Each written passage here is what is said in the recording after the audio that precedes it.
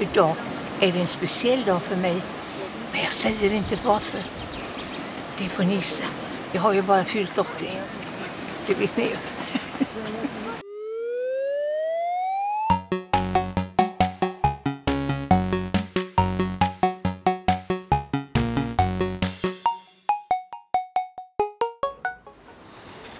Hej alla youtuber!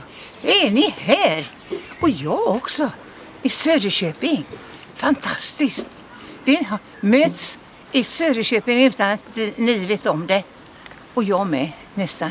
Nu står vi på slussarna här uppe i Söderköping och ni ser, här kommer båtarna att gå nu i sommar. Ända ner på Göta kanal. Det är Stockholm, Göteborg. Det är någonting att åka på. Och så har vi varit och ätit. Vi har ätit glass och paj och druckit kaffe. Och det heter Smultronstället. Ja, det var eh, kalas. Och nu skiner solen. Ser ni? Det är helt fantastiskt. Solen kommer fram här.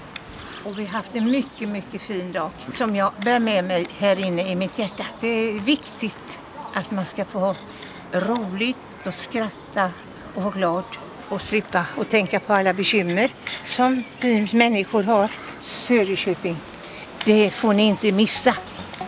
Hej då, hej då, hej då alla goda vänner. Puss och kram på er. Och var rädda om er sommar när ni badar.